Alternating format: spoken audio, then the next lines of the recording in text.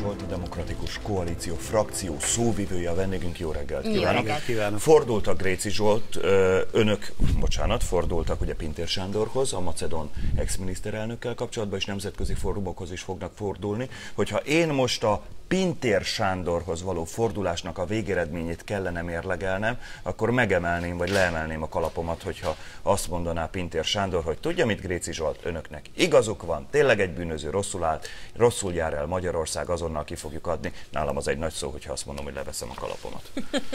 Jó Az reggelt kívánok! Ez a kötelező kör, tehát ez teljesen természetes, hogy egy parlamenti párt ilyenkor megpróbálja megtudni a miniszterelnöktől és a belügyminisztertől, hogy mindez a szégyen hogyan történhetett meg az országgal, és hát szemben láthatóan egy nemzetközi botrányba csöppent bele Magyarország.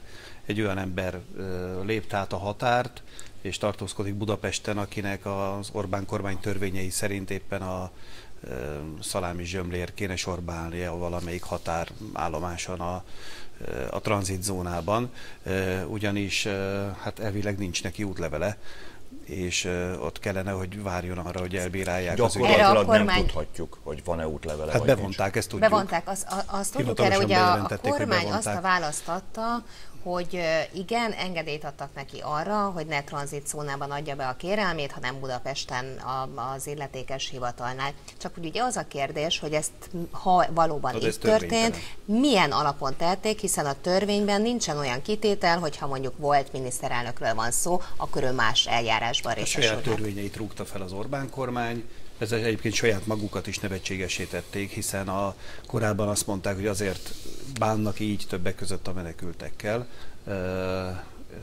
mert, mert a törvény az ilyen, hát mit lehet csinálni, ilyen a törvény. Most pedig arról van szó, hogy van egy, van egy VIP migráns, ha szabad ezt a kifejezést használni, akire a törvények nem vonatkoznak, és nem csak a macedón törvények nem vonatkoznak, hanem a magyar törvények sem. Arról nem is beszél, hogy ennek nagyon súlyos nemzetközi következményei lesznek. Mi, milyen, bocsánat, csak hogyha ha már így belekezdett, milyen következményei lehetnek? Hát egyrészt nem tudjuk, hogy például Orbán ezt a lépését Putyinon kívül, mert vele nyilvánvalóan igen, de egyeztette... Miért nyilvánvaló? Hát mert ez az ember Putyin embere, és ugye Macedónia egy erős ütköző zóna, ütköző állam Oroszország, illetve a NATO és az Európai Unió között, és egy Putyinhoz hű, és ugyanúgy Orbánhoz hasonlóan sorosozó figura, aki, aki hát a saját országa elítélt, és nem politikai bűnökért, hanem köztörvényes korrupciós bűnökért ítélt el. Nagyon jó volt Ritko kérdésem, valóban. Tehát, hogy miért nyilvánvaló, hogy egyeztetett Putyinnal, mert ezzel ugye nem kevesebbet állít, mint sem azt, hogy kvázi mondjuk Putyin kérésére történik mindez. Holott nem Ez tudjuk, hogy, nem tudjuk, hogy Orbán Viktornak vagy a kormánynak tevőlegesen tényleg mennyire van ebben szerepe. Pillanatnyilag nem Hát a tudjuk. kormánynak biztos, hogy van szerepe, mert a kormány nélkül nem, kell, nem léphetett volna át a határon. Olyan nincs, hogy Hát ha átszökött, és a kormány ezt nem tudta, vagy nem Jó, vették én még egyszer a hát tudom már női ruhában, meg egyebek, de Bocsánat, az egy nincs darab szerintem. körmondatot hagyd tegyek ezzel kapcsolatban, mert a félmondatomat nem akarom túlzottan bővíteni, de elképzelhető az, én ezt, ennek tegnap utána jártam, mint két legális útlevéllel, két különböző ország útlevelével bíró ember, ha nekem nem fenyeget, remélem ilyen veszély, de olyan bűnt követnék el Magyarország, hogy elvennék a magyar útlevelemet, akkor van egy horvát útlevelem, és azt az, az az útlevél attól nem veszti érvényét, és nem tudjuk ebben a pillanatban, hogy Nikola Groevskinek akár származása, akár külföldi tanulmánya tartózkodása okán van-e más útlevele. Tehát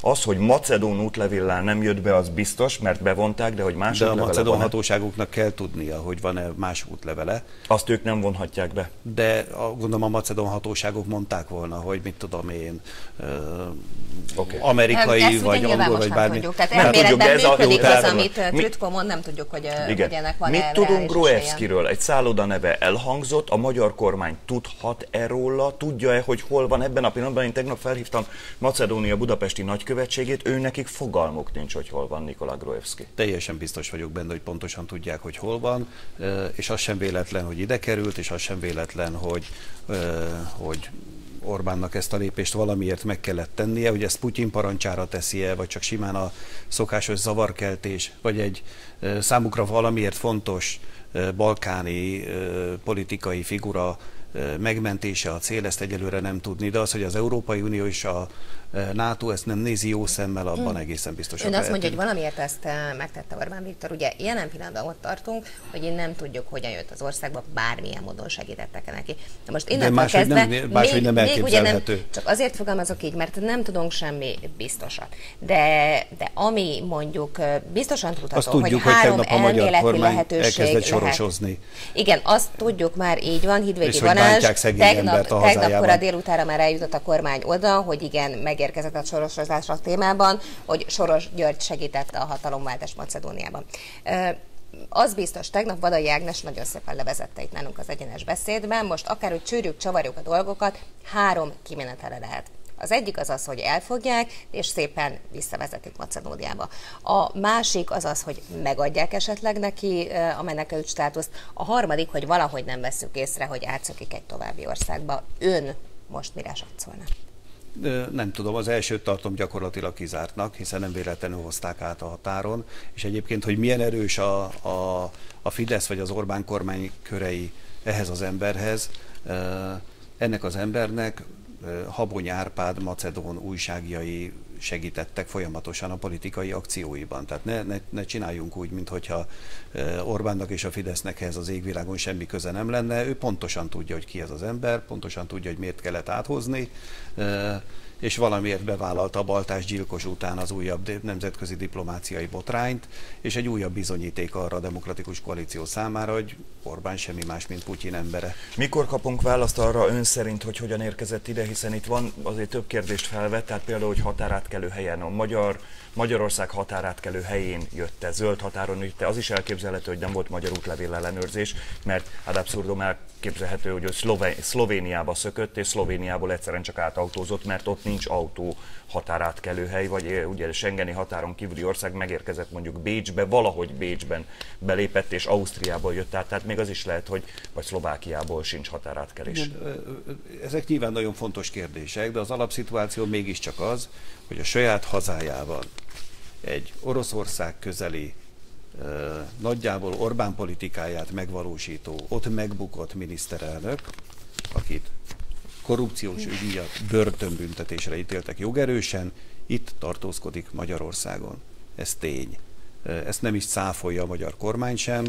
Hát ő maga írta ki, ugye Nikola Gruevski írta a Facebook oldalára, ez tehát már, ez, nem ez már önmagában világban. Miért tehette ön erről? Mit gondol? Szerintem ez egy nagyon érdekes kérdés, hogy miért vállalta be egyáltalán, hogy ő ezt kiírja maga a Facebook hát oldalára. Mi volt, mi lehetett ennek a jelentősége? Mert valamilyen célra lesz biztos tette? Hadd mondjam el, elolvastam, olvastam a Facebookot, azért Nikola Groevskinek van egy brutálisan erős rajongó, idézőjelben rajongó tábora, van egy 230 nem tudom hány ezres Facebook oldala, özönlötték, előzönlötték a Facebook oldalát, a ne hagyd magad Nikola, te vagy az igazi Makedón, ezeket a nemzetárulókat majd legyőződ egyszer, mit tudom, tehát hogy enne, ahogy a politikai térfélen szokott neki is van egy rajongótábora, lehet, hogy nekik akart szólni, csak tippelek, nem tudom. Hát igen, csak ha nem írják ki, akkor lehetne is másolni, hogy még sincs itt, vagy eltitkoljuk, nem vagy nem tudjuk, róla. hogy itt van-e. Így van. Tehát ez is elképzelhető, de hát azért mégiscsak mondom, az a fontos, egy jogerősen elítélt miniszterelnök, aki enyhén szóval nem az Európai Unió és a NATO barátja, az ma itt tartózkodik Budapesten, és a magyar kormány éppen azt fontolgatja, hogy hogyan mentse ennek az embernek az írháját. Ez példátlan, szégyen, gyalázat. Meg fogjuk várni a döntést, a magyar állam döntését, hogy megadják ezt a menekült kérelmet, vagy nem, és akkor kiderül, hogy... Egyáltalán nem is lehetne itt semmilyen szinten nem lehetne itt. Mit Nézzük a, az újságokat, hát igazából nem lett meg, egyedül a Népszavának a címlapján foglalkoznak a Gruevski ügyen, és a másik két újság Magyar Hírlap címlapján egyáltalán egy szó sem, és uh-huh. megmutatom azért a nézőknek, mert talán a következő beszélgetéshez ez egy érdekes alap, hogy hogyan szelektálódnak a hírek. Magyar időknek a címlapján egy ilyen pici kis cikkben lehet olvasni a Gruevski ügyről. Hát egyébként ez is pontosan az bizonyítja, hogy ez a dolog ég a körmére a Fidesz Fidesznek és a kormánynak, mert hát ha ez egy büszkeségre okot adó valami lenne, akkor nagy transzparenseken mutogatnák, hogy éppen megmentenek egy nagyszerű macedó hazafit, de hát pontosan nem erről van szó.